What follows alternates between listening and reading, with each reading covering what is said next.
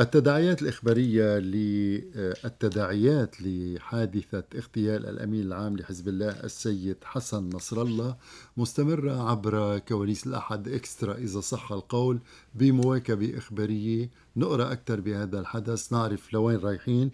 معنا مدير تحرير الأخبار في موقع Ici Beyrouth الأستاذ ميشيل توما. صباح الخير وأهلا وسهلا فيك. السؤال الأول عن معالم المرحلة اليوم نحن اللي رايحين عليها بلبنان. بعد هذا الحدث الكبير كتار عم بيقولوا نحن قدام مرحلة خطيرة ومعقدة. وتاريخية. تاريخية مش وتاريخية. مسبوقة. إيه أكيد. لسببين. أولا إنه الشيء الواضح الاكيد إنه حزب الله اللي كان عم بنحكى عنه إنه أقوى حزب وأقوى ميليشيا بالعالم كذا. انضرب ضربة آه، موجعة جدا يعني. على جميع الأصعدة يعني. على صعيد القيادة على صعيد الكوادر الوسطى وعلى صعيد البنى التحتية يعني. آه، ف والضعضع واضح إنه في خاصة بعد حادثة اغتيال الأمين العام. فمن ناحية هذا الحزب ضعضع تفاجأت يعني كان يحكى مئة ألف صاروخ صح. وقوة توازي قوة ردع بين إسرائيل. صح. ليش ما بين الواقع هيدا الشيء؟ لأنه في سببين. يمكن جاهم يمكن تعليمات من إيران لأنه نحن نعرف أنه أنه بالنسبة لحزب الله قرار السلم والحرب مش مش بإيدهم مش بإيد الحزب ومش بإيد القيادة. بإيد مرشد الثورة الإسلامية. فإذا بده يستعمل إذا فعلا عنده هالقدرة على صعيد الصواريخ بعيدة المدى آه، هيدي بده ياخذ ضوء الأخضر من ال... من من إيران تيستعملهم لأنه قرار السلم والحرب مش بإيده. هذا واضح بكل ب... بإيديولوجية ال... حزب الله. فهيدا آه، اولا. ثانيا بيظهر وعيه إنه في بوجهن آه، جيش متفوق يعني عالميا على صعيد التكنولوجيا على جميع الأصعدة هذه أولا. ثانيا جيش عنده سيطرة تامة تامة بكل شرق الأوسط مش بس بلبنان على صعيد السلاح الجوي. إنه الطيران الإسرائيلي مسيطر على الجو مش بس بكل الشرق الاوسط يعني واصل لإيران. وقت عملوا عملية بأصفهان من فترة. وصلوا لأصفهان ضربوا بأصفهان وما في حدا يعني ما في لا لا دفاع جوي ولا شيء.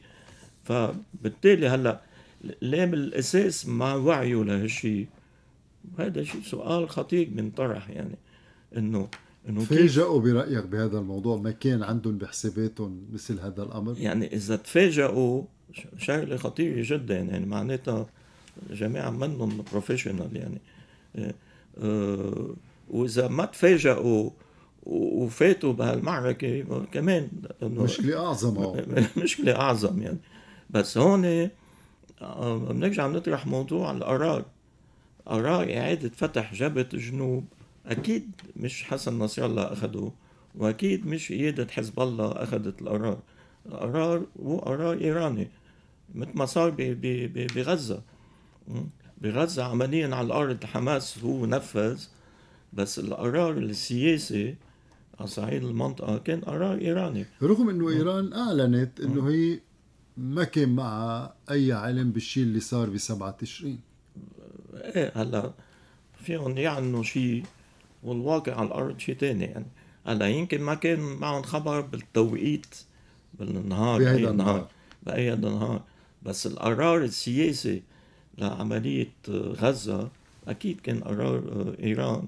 إيراني والأسباب معروفة يعني إنه كان بدها إيران أولا توقف آه، اتفاقات أبراهام إنه تطبق اتفاقات أبراهام بين السعودية وإسرائيل. هيدا أولا يوضع حد لمسار اتفاقات آه، أبراهام. وثانيا كان بدهم يرجعوا يطرحوا حالهم على الساحة الإقليمية كلاعب أساسي مع ويتفاوضوا مع مع واشنطن ومع أمريكا يعني.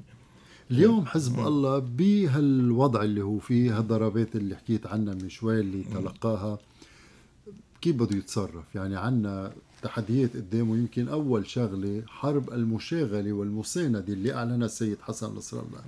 بيقدر الحزب يكمل بهذه الحرب برأيك؟ أكيد ما في يكمل. أكيد طرح حرب المساندة وردع التصدي الدفاع عن لبنان. هذه كلها شعارات سقطت يعني ووحدة الساحات كمان. هذا كمان شعار سقط واضح. هلا بيقدروا يكفوا مثل ما عم بيعملوا هلا.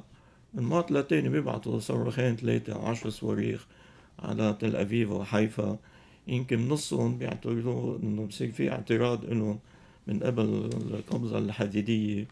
وقسم بيوقع بالبحر مثل ما شفنا بالفيديوهات إنه بيقدروا يكفوا هيك يعني بس إنه هيدا مش إنه إنه مش حل يعني. بس كمان إذا بدهم يوقفوا هالحرب مثل ما أنا ماشي كمان هذا القرار قرار بطهران بيتاخذ مش هون. عندهم ولا عند إسرائيل اليوم قرار الحرب؟ اليوم شفنا المبادرة صارت بإيد إسرائيل لا هي أكيد أكيد المبادرة القرار هو بإيد إسرائيل طيب شو بدها إسرائيل من هذه الحرب؟ القرار بإيد إسرائيل لنقول هذه الحرب اللي أعلنتها لوين بدها توصل فيها؟ هلأ بالنسبة للبنان آه آه شيء الأكيد إنه ما ممكن الإسرائيليين يقبلوا بوقف إطلاق النار أو بوقف العمليات الإسرائيلية الحربية طالما في حدودهم الشمالية تنظيم مسلح مثل حزب الله ممكن يوما ما يمكن بعد سنة سنتين ثلاثة إذا إذا انتهت إذا قبلوا بوقف إطلاق النار على أسس منا ثابتة إنه ممكن مين مين بيقول لهم هيدا التنظيم؟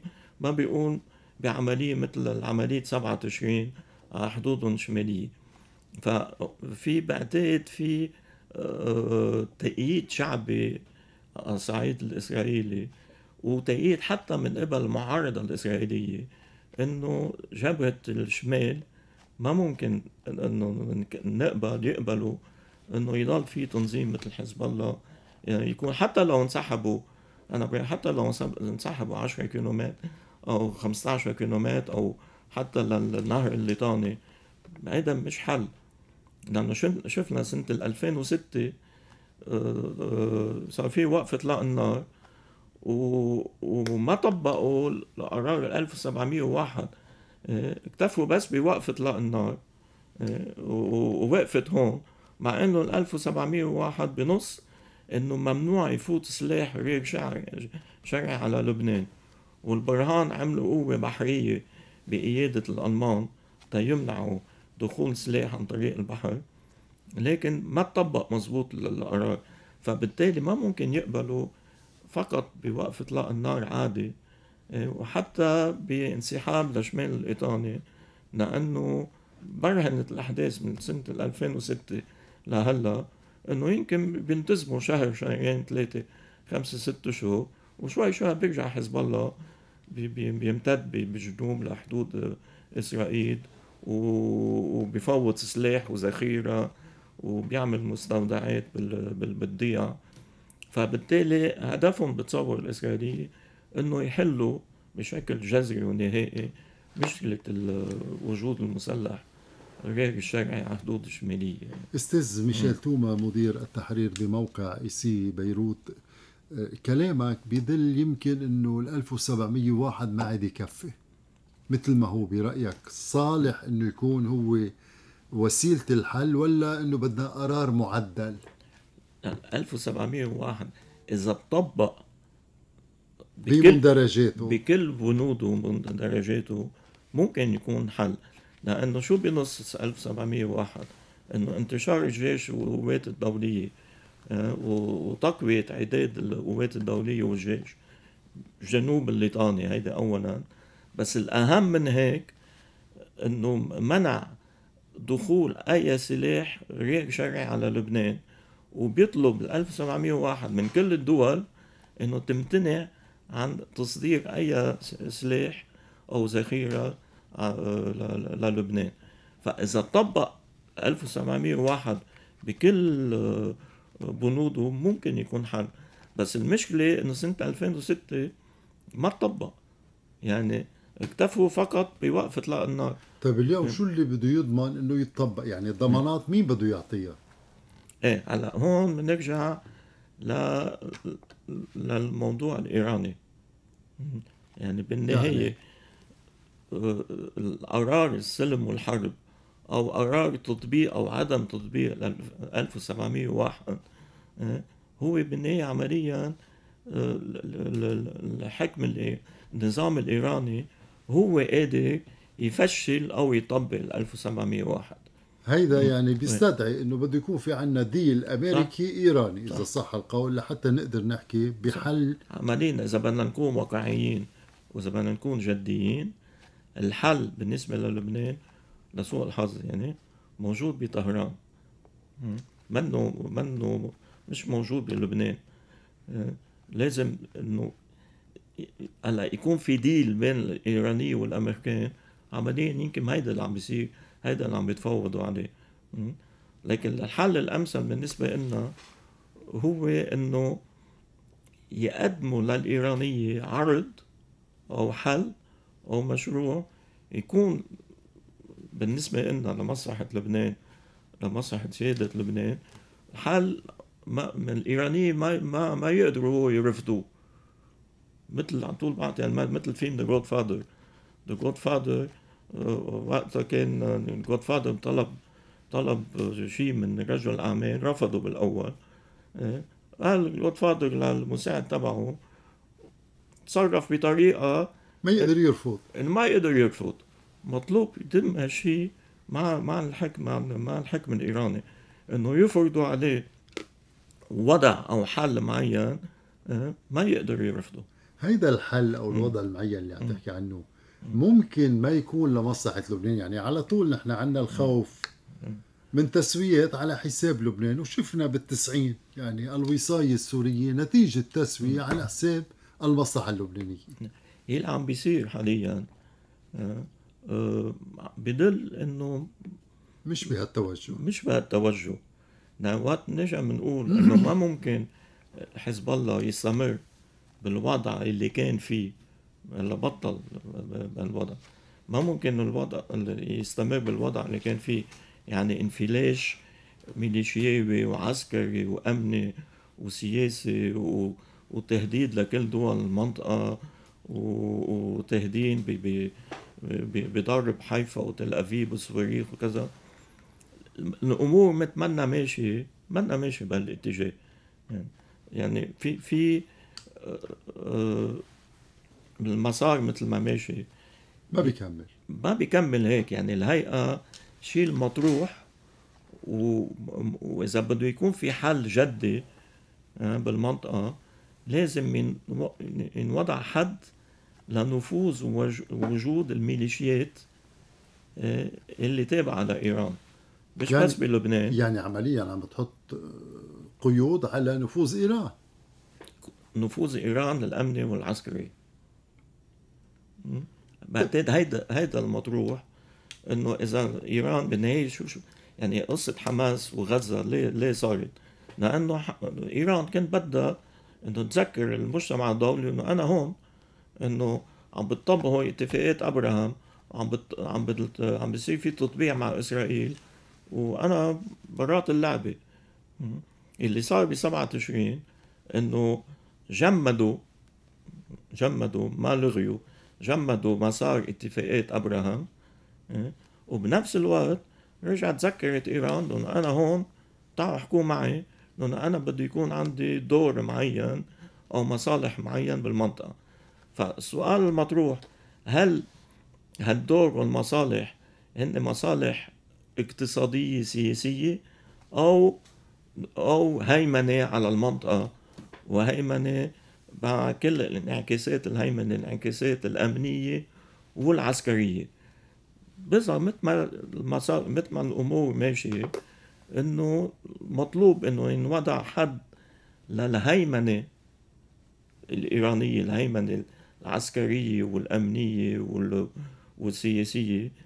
آه، لكن إنه بينبحث المصالح الاقتصادية أو أو وجود أو دور لايران كقوة إقليمية. آه، بس ما ما يكون ما يكون في احتلالات لأنه عمليا اللي, عم بيصير. إذا كان مثل ما كانت ماشي الأمور كان في احتلال إيراني خلينا الاشي نقول الاشياء باساميها كان في احتلال إيراني الدولة وكل مفاصلها إيه بالعراق بالعراق الحشد الشعبي صفى الحشد الشعبي هو يمكن أقوى من الدولة صارت إيران هي عم تمتص الثروات المالية بالعراق. عم عم بتمول حالها إيران من العراق إيه؟ باليمن. شفنا شو عم بيصير باليمن وبسوريا. يعني عم كان قالوها على كل حال. يعني بعتقد قاسم سليماني قال إنه نحن عندنا نفوذ بأربع عواصم عربية. يعني أستاذ ميشيل توما اغتيال حسن نصر الله في تراجع لمشروع المحور. بعتقد هذا شيء واضح. بعتقد هذا شيء واضح. لأنه وقت بنضرب الأداة الأساسية للمشروع التوسعي تنقول. أو لمشروع الاحتلال الإيراني. لا أقله أربع دول بالمنطقة بالشرق الأوسط. الأداة الأساسية لإيران كانت حزب الله. لدرجة إنه بعد مقتل قاسم سليماني كان عم بينحكى إنه حسن نصر الله هو كان مكلف إنه ينسق بين بين الميليشيات والأدوات طيب الأداة الأساسية لمشروع إيران حزب الله. نعم. ليش ما كان في قراءة إيرانية مختلفة للأمور؟ وشفنا بأكثر من تصريح. الرئيس الإيراني وزير خارجية إيران كان عندهم قراءات تجاه أمريكا مختلفة كليا عن قراءة حزب الله. صح. هون في أولا العقوبات بعتقد أثرت كثير يعني أول مطلب لل... لل... للإيرانية رفع العقوبات. إنه صحيح كانوا عم بيستفيدوا من العراق. صحيح كان عم بيصير في تصدير للبترول بطرق غير شرعية.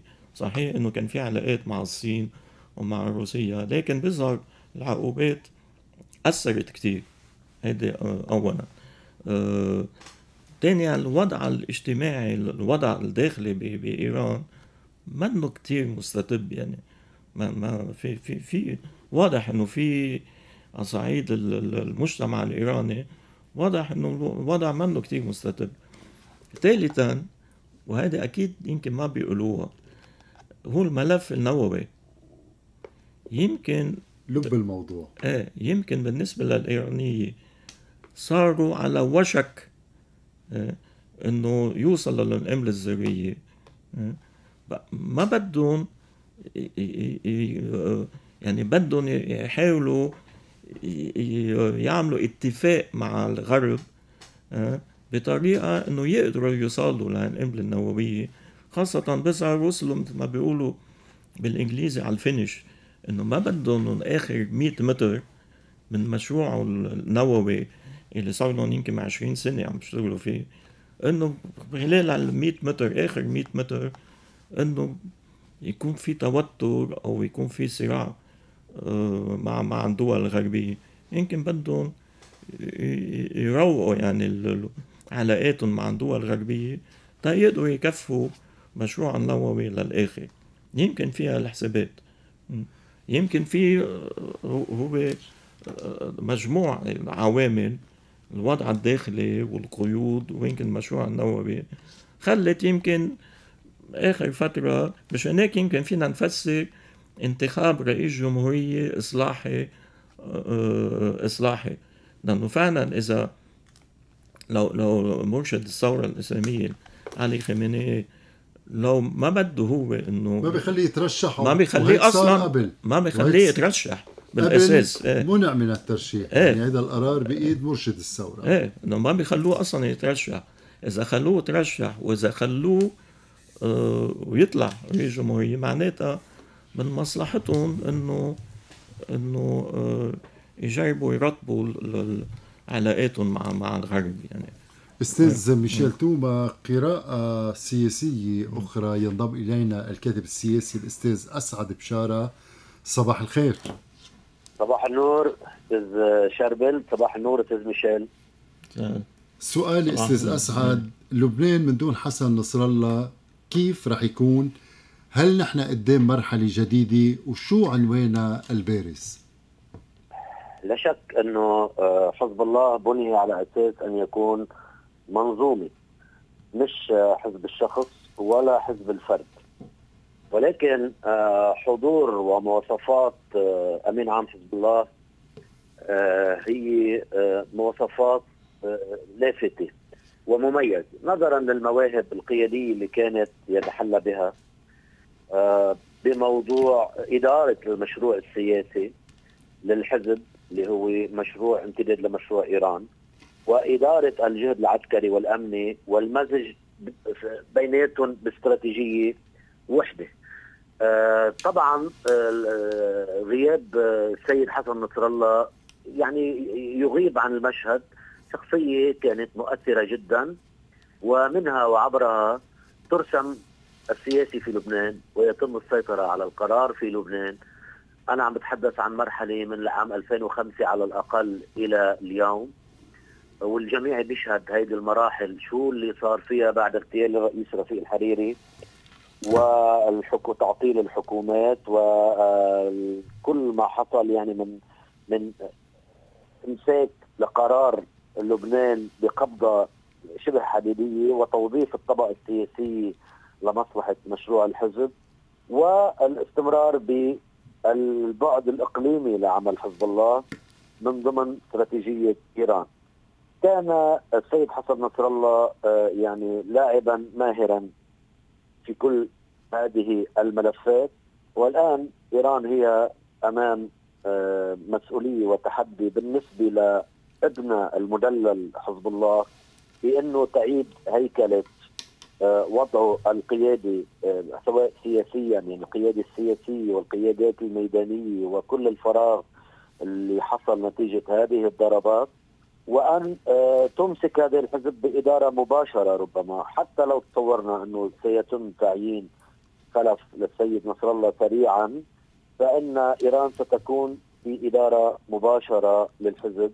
نتيجة كل يعني الضربات التي حصلت والثغرات التي حصلت والحالات لا توازن بإدارة الحرب وإدارة السياسة اللي رح نشهدها بعد غياب نصر الله. أستاذ أسعد بشارة لنطلع من هذا النفق. شو المطلوب؟ أولا من حزب الله وثانيا من الدولة اللبنانية. يعني إذا بنرجع نكرر ونقول إنه شو المطلوب من حزب الله بعتقد ربما يكون المطلوب من حزب الله خارج الموضوع الذي يطلب من يعني من حزب الله. يعني أنت عم تطلب منه شيء خارج برنامجه ومشروعه فكيف يمكن أن يلبي؟ آه عندما يطلب منه آه الالتزام بال 1701 وبنشر الجيش على الخط الأزرق لحمايه لبنان. وبتطبيق ال 1701 كاملا لحمايه لبنان. هل هو على اجندته أن آه، يعني حماية البلد بالطريقة اللي أنت عم بتشوفها أو أنا عم شوفها؟ لا على الإطلاق. وإلا ما كان بتنعمل حرب المساندة. فاذا هنا اللي عم يطلبوا من حزب الله واللي مستعدين باعتقادي أن يمدوا اليد وفق قاعدة أن تحت سقف الدولة والمؤسسات قد يصابوا بخيبة أمل جديده، يعني أنت تعالج آه، موضوع بإعطاء الدواء غير المناسب ودائما بالتوقيت غير المناسب. إيران هي التي تمسك اليوم بملف حرب المساندة. إيران التي تفاوض على موضوع عودة المستوطنين إيران التي تقول لحزب الله يستمر أو لا يستمر بموضوع المساندة إيران التي تفاوض مع الأمريكيين لأنه هذا الاستثمار هو استثمار إيراني بامتياز وهذا الاستثمار من الطبيعي دولة عم تحلم بنفوذ إقليمي وعم توسع نفوذها الإقليمي أن تستعمل كل الأوراق التي ترى أنها ممكن استعمالها وابرزها الورقة اللبنانية. الورقة اللبنانية هي من أهم الأوراق بإيد طهران، بالإضافة إلى الورقة اليمنية والورقة السورية والورقة العقارية ولكن لبنان آه يعني آه حزب الله هو الابن مش المدلل، الابن الذي اهتمت إيران برعايته حتى يكبر ويصبح مؤثرا ويصبح آه لاعبا فاعلا في خدمة هذا المشروع. اليوم إذا صورنا أنه قوى سياسية مثل قوى المعارضة والقوى المعترضة أو الوسطية التي ما بدها كان بالأساس هذه الحرب. بدها تتقدم بمبادرة. هل راح تلقى صدى عند الحزب أو عند طهران؟ أنا أشك بهذا الموضوع ولكن يعني يفترض يفترض إنه من باب إعادة تأكيد الرغبة بالحفاظ على لبنان ومنع تدميره أن تقدم هذه المبادرة وأن يقال نحن نمد اليد تحت سقف الدولة. وبعتقد الجواب بنسبة 90% واضح شو راح يكون. آه، ولكن ما في ضرر ابدا من أن تجتمع المعارضة تجتمع هذه القوى السياسية وتقول شو برنامجها وشو بدها وتحدد ثوابت المرحلة وتحذر إنه نحن لوين رايحين وتعمل جولة اتصالات عربية ودولية لاسماع صوت مختلف من بيروت بأنه البلد ليس بشكل مطلق تحت هيمنه أو تحت وصاية تاخذ إلى حيث تشاء. بدي أتشكرك الكاتب السياسي الأستاذ أسعد بشارة وأعود إلى ضيفي في شكرا دكتور في استديوهات صوت لبنان مدير تحرير الأخبار في موقع Ici Beyrouth. الأستاذ ميشيل توما بدي أنطلق من الشيء اللي خلص منه الأستاذ أسعد بشارة. ما بتشوف إنه حزب الله في ضغوطات عليه؟ يعني في قنبلة أول شيء النازحين اللبنانيين مليون شخص ما رح يرجعوا هو على بيوتهم. إذا ما صار في وقف إطلاق نار مع ضمانات بمعالجة موضوع الجنوب وموضوع شمال إسرائيل. إيه بس صحيح بس بالنسبة له آه هذا موضوع ثانوي. يعني يعني بالنسبة لحزب الله. بالنسبة لحزب الله كل موضوع لبنان ومصلحة الشعب اللبناني وحتى مصلحة بيئة آه، حزب الله هي بالنسبة له هيدا شيء آه، هامشي أو ثانوي. آه، دوره الأساسي هو يكون أداة بخدمة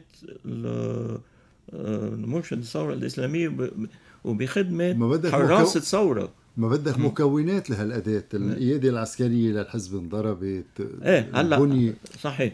هلأ هون هون صار في وضع جديد. يعني حزب الله مثل ما كان قبل نهار الجمعة شيء إيه؟ وهلأ حاليا الوضع مختلف تماما إيه؟ أه بس حتى هيك إذا بده مثل ما قال آه، أستاذ بشارة إنه حتى إذا بده يوقف الحرب بالجنوب القرار مش له حتى لو في ضغط اجتماعي وظروف إنسانية على صعيد الداخل بالنسبة له هيدي ما بيقشع منا. مش إنه حساباته منا حسابات لبنانية حساباته حسابات إقليمية. يعني مثل فريق football يعني إذا أنا بدي ألعب football آه، وبطلب من من نادي يشكل فريق آه، تنلعب سوا football. إذا إجوا بفريق بيلعب basket وأنا بدي ألعب football ما ما فينا نتفق ما فينا ما بتزبط اللعبة يعني. إيه، ما هون زاد شيء إنه حزب الله عم بيلعب على غير ملعب يعني منه عم بيلعب على الملعب اللبناني. إيه، حساباته ما حد إقليمية وما حد إيرانية. حتى لو في ضغط داخلي وإنساني وضغط اجتماعي ما في فرصة قدام لبنان إنه بهذا الوضع الجديد المستجد خلينا نقول يقدر يكون عنده أمل بالخروج من النفق حاليا صح في فرصة إيه، لأنه العنصر اللي كان واقف آه، بوجه مشروع بناء دولة آه، هلأ ضعضع. إيه، فمشان هيك نرجع ننطلق اللي كان عم بيقول الأستاذ آه، أسعد بشارة إنه مفروض المعارضة السيادية تنسميها آه، بكل بكل الأحزاب والشخصيات اللي رافضة المشروع حزب الله اللي هو المشروع الهيمنة الإيرانية. مفروض هي توحد أولا جهودها وتاخذ موقف موحد وتعلي صوت بوجه المجتمع الدولي تتقول إنه ما بنقبل بقى إنه الوضع يرجع مثل ما كان قبل قبل 8 تشرين أو حتى قبل قبل نهار الجمعة قبل 27 أيلول.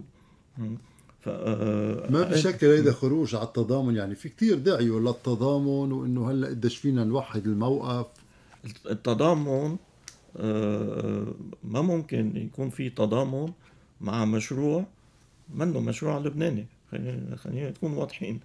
ما فينا ما فينا نتضامن مع مشروع آه، إيراني. هيدي اولا. ثانيا طالما إذا بدنا نطرح موضوع التضامن ليه حزب الله هو ما تضامن مع الشعب اللبناني اللي هو كان رافض الحرب؟ إنه ليش مطلوب منا نحن نتضامن معه بوقت اللي هو فتح جبهة وما حدا طلب منه يفتح جبهة وما حدا طلب منه يفوت بحرب مع إسرائيل. وما سأل عن مصلحة الشعب اللبناني اللي هو بالأساس عم بيواجه آه، أزمة اقتصادية واجتماعية ومالية خانقة.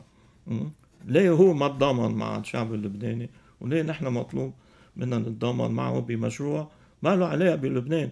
إنه شو شعار الحرب كان؟ إنه حماية غزة وحماس آه، ماشي ما لبنان ما له علاقة بالموضوع يعني.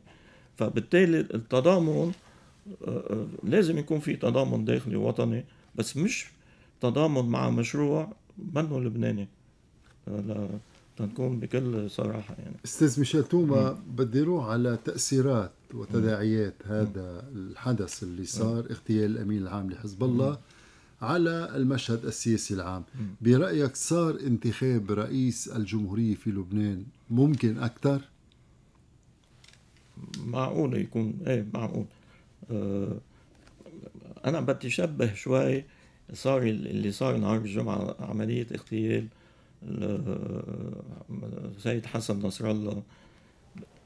بالنسبة لجزء من الطائفة الشيعية حسن نصر الله كان رمز يعني بعتقد بدي بدي اقارن إنه كيف بالنسبة للمسيحية؟ اغتيال الشيخ بشير جميل كان ضربة قوية للمسيحية وكيف بالنسبة للسنية اغتيال رفيق الحريري كان كمان صدمة صدمة. ضربة قوية. ضربة قوية للسنية. وكيف حتى بالنسبة للدروز كمان جملات كان كمان ضربة قوية آه، للموقع الطائفه الدرزية. هون بالنسبة للقسم الشيعة مش كلهم آه اغتيال حسن نصر الله كان حسن نصر الله كان رمز. يعني مثل بشير جميل ورفيق حريري وكمان جملات. بالنسبة للشيعة آه انه هيدي ضربة كثير الواقع هو ذاته. إيه. فهون صار في بالنسبة لانتخاب رئيس الجمهورية يمكن صار في يعني آه توازن القوى نوعا ما توازن شوي شوي أقوى من اللي كان قبل اغتيال حسن بمعنى إنه ترشيح سامي فرنجي برايك ورقه سقطت هلا ما فينا نكون هيك جد ما, ما صعب الواحد يكون هيك جاذب بالنسبة لهالموضوع.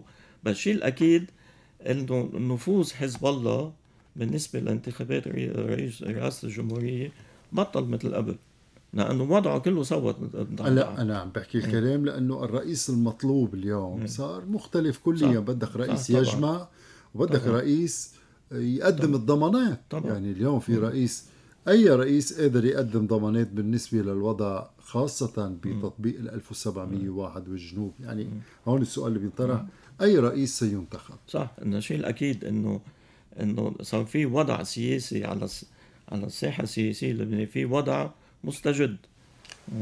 واللي كان عائق أمام انتخاب رئيس جمهورية مثل ما عم بتقول أستاذ شربي اللي يكون فعلا قادر يجلس الوضع بلبنان هذا الفريق اللي كان عائق أمام انتخاب هذا رئيس جمهورية ضعضع ضعف كتير. فبالتالي الإمكانية إنه ينتخب رئيس يكون فعلا قادر يواجه المرحلة الجديدة ويكون فعلا يفهم المستجدات على الصعيد الإقليمي والدولي صار الإمكانية أكبر من قبل يعني. بروح معك بالمحور الآخر بالوقت اللي باقي معنا إلى الصورة الأشمل الماكرو.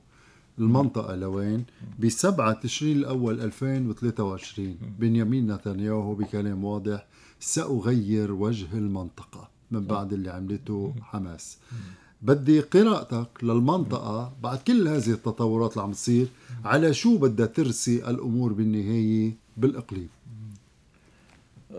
هلا هو نتنياهو بعده لهلا عم بيقول إنه أنا بدي ابني شرق أوسط جديد. وإسرائيل آه. الأبدية أبدية وس... إسرائيل. إيه, إيه طبعا. هلا هيدا معناتها هالموقف إنه بده يوضع حد للأداة الإيرانية بالمنطقة. يعني للميليشيات اللي تابعة آه، سياسيا وعسكريا أمنيا لإيران. لأنه آه، إيران كان عندها نفوذ سياسي وعسكري وأمني وكانت مسيطرة على الحكم بأربع دول عربية مثل ما عم بيقولوا هن بشكل إنه آه، إنه هذا الشيء كان عم بشكل خطر على إسرائيل آه، امنيا وعسكريا. ف آه، اللي عم بيصير هلأ بده ينوضع حد لهال لهالوضع طيب على طول عم نفترض إنه ما في ريبليك من قبل إيران. على طول إنه المبادرة بإيد إسرائيل وما في أي رد فعل إيراني. هلأ رد فعل الإيراني شو ممكن؟ ممكن الإيرانية إنه وهذا الشيء بدنا نشوفه هلأ لازم نتابعه.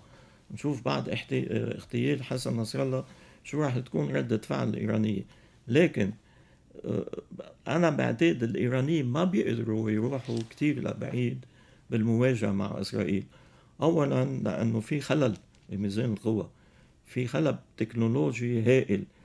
فإذا الإيرانية أخذوا قرار يواجهوا بشكل جدي إسرائيل تاني نهار بذات النهار نتنياهو بي بي بي بي بيقصف كل البنى التحتية العسكرية والنووية بإيران.